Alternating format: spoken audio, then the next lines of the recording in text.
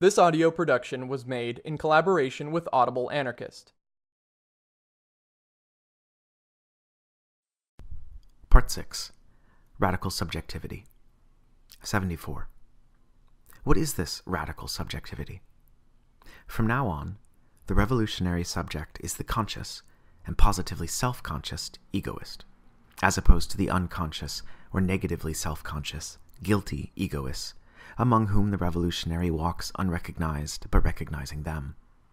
He can sustain this positive attitude toward his expanded egoism and its first sign in others by virtue of his comprehension of its positive social outcome in a society, separated from this one by the social psychotherapeutic process of revolution, in which the egoism of each is the first condition for the fulfillment of the egoism of all. 75. Contrary to the ideological banality, it is only the most greedy people who can never be bought off. That is to say, they cannot be bought off within the narrow realm of corruptions normally offered. We are the last to deny that every man has his price. But just as Hegel demonstrated that mere quantitative differences can, past a certain point, actually become qualitative changes, so the radical subject escalates his price so high that it finally transcends altogether the realm of exchange value, and for that matter, of all partial appropriations. 76.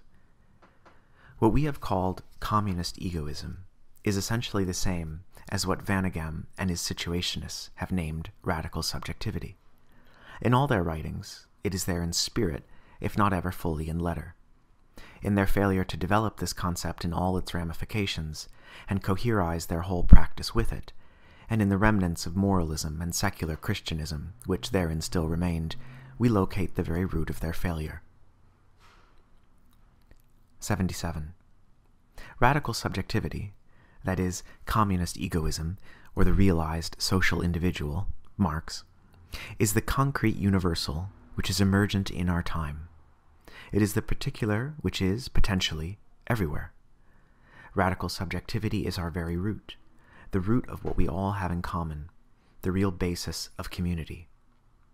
Root subjectivity, the primitive human root, could only be divulged as such at the far end of prehistory as the outcome of the process of that prehistory itself, and as the secret basis of its supersession.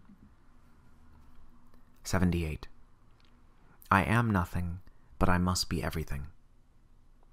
Within the monstrous decrepitude of contemporary society, the nihilist, its commonplace product, knows only the first half of this statement I am nothing. Therefore, anything else can only be less than nothing to me. In the upside down world of alienation, it is the totality of things, of commodities, of money, of capital, that is everything, and we, the workers who make it, are shit. The nihilist is like a syllogism suspended at the minor premise, an acrobat whose somersault is broken in mid flight. For him, the logic of this empirical truth, the truth of experience, of daily life, does not immediately tumble over into its opposite, its necessary conclusion I am nothing, but I must be everything, the conclusion that would make a revolutionary of him. We produce commodities, money, capital. We produce everything that makes up social wealth we must become, explicitly, what we already are implicitly everything. This becoming visible, this becoming true of the social truth, expresses the total process of the communist revolution. This has been a production of Audible Anarchist. You can find more Audible Anarchist on YouTube.